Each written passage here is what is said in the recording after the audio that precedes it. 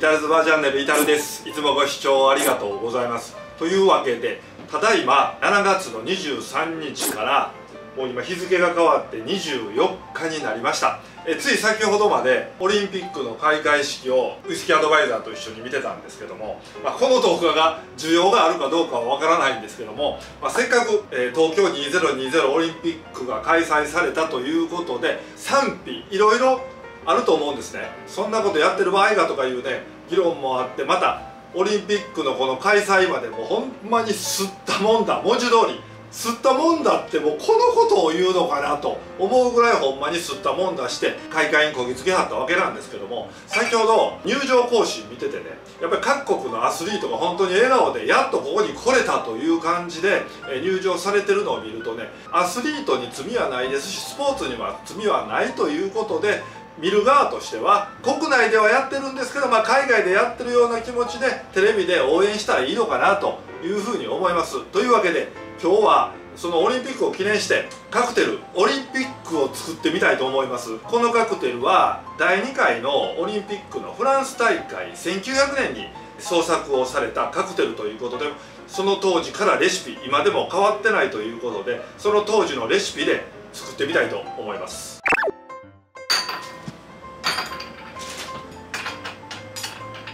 カクテルのオリンピックはベースがこちらコニャックブランデーグランマルニエ絞ったオレンジジュースということでこちらで作っていきたいと思います。レシピの方はまずブランデーが20グランマルニエがこれも20生のオレンジジュースが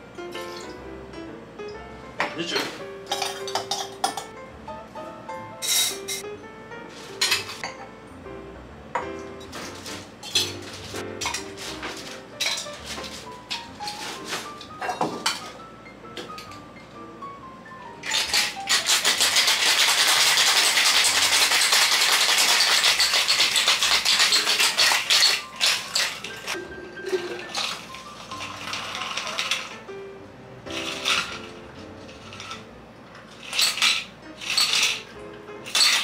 カクテルオリンピック完成しました。ウイスキーアドバイザーどうぞ。あ美味しい。うん美味しいね。このカクテルのポイントはやっぱり生のオレンジジュースを使うというのがポイントかなというふうに思います。ブランデーのコクとさらにこのグランマルニエのコクがプラスしてそこに酸味のある生のオレンジジュースということで非常に飲みやすい。アルコール度数はちょっと高いんですけどもこれなかなかご家庭ではできないのでこれもバーで味わってみたらいかがかなと思います。というわけで先ほども言いましたように開会式が無事に終わったということで、まあ、開会式結構ツッコミどころもある開会式であれ結構押してたよな。高野連の会長が喋りすぎや高野連違うからバッハさんな。バッハさんと橋本さんがあれちょっと喋りすぎた。な橋本さんまだやけどあのー、高野連の会長がちょっと喋りすぎや。高野連違ういや校長先生。校長先生。あれはちょっと周りちょっと垂れてたな。もうあれ半分でよかったんちゃうかな思うねあれ。夏休み明けの校長先生ぐらい喋ってはった。喋りたいのは分かるけど。な分かるけど。周りのこと考えましょう。挨拶する時は面白かったというか、まあ、すごいなと思ったのはえ1000台ぐらいのドローンで。1800台か。ドローンで地球を作ったという。あれはすごいわな。あとあのピクトグラムの。それとおもろかったピクトグラム、うん、動くピクトグラム。あれはなかなか楽しかった。一箇所とちらはったけどよう頑張らはった。よう頑張らはった。いやあれはねあれはすごかった。ようできようできたったわ、うん、あれは考えてある。あで予算かからへんしなあれ、うん、やっぱりあの今回の開会式予算をかけてないっていうのがよく分かってあれでええと思うね変にな。変に金使わんとな何様やねんの話やいやただな長いな。だって8時に始まってさ4時間や。